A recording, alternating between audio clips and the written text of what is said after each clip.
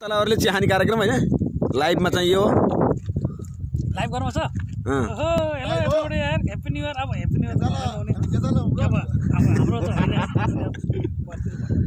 खेतालाल चाहिँ बिहान बिहान उठेर चिहानी कार्यक्रम बिहानको। नास्ता। नास्ता भन्नु मिल्छ भन्नु होइन? चिया चाय चाय। चाय। चाय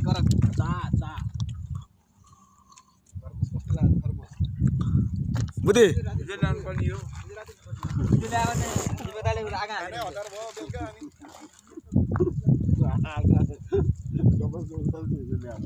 मैला देखिरहेको छन् सबैले फेरि।